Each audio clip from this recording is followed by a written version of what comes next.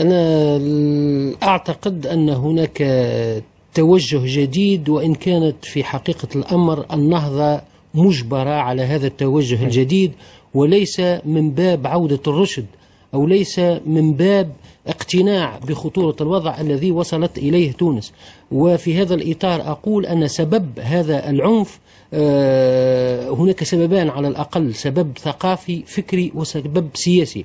السبب الثقافي الفكري يتمثل في آه، ما يمكن أن أعتبره بتقارب فكري بين ما يسمى بالسلفية وحركة النهضة لأن إذا اعتبرنا السلفية في بعدها الفكري حركة النهضة في حد ذاتها حركة سلفية. إذا اعتبرنا أن السلفية هي آه، مقولة من مقولات الأصولية وحركة النهضة نعرف إلى حد الآن أنها تبقى محافظة على هذا التراث الأصولي.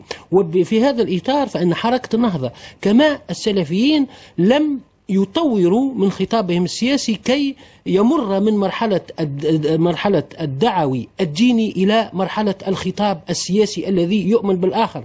إلى حد الآن نسمع من آه، قيادات مرموقة في حركة النهضة تخاطب خصومها السياسيين باعتبارهم خارجين عن الإسلام وكفار. وبطبيعة الحال إذا تم اعتبار هؤلاء الخصوم السياسيين آه، خارجين عن الدين تصوروا بالنسبة لي شخص عادي شاب يعني منفعل ويعني متخمر بهذه الأفكار الدينية السياسية في نفس الوقت. طبيعي جدا سيمر إلى العنف السياسي في شكله الخطير جدا وهو الإرهاب. ما تشهده تونس حاليا هو إرهاب بأتم معنى الكلمة. في نفس هذا السياق لا يوجد هذا الفرق بين السلفية وبين حتى أنصار حركة النهضة لأننا لاحظنا أن هذا العنف السياسي في مدينة تطاوين لم يقم به السلفيون بل قامت به ما يسمى بلجان حماية الثورة وهذه اللجان التي تشكلت لحماية حركة النهضة على حساب خصومها السيين والسياسيين والذي أدى إلى مقتل يعني مواطن تونسي تنتمي واعترفوا بذلك وكل التونسيون يعرفون ذلك ما عدا حركة النهضة التي تريد التواطع على هذا.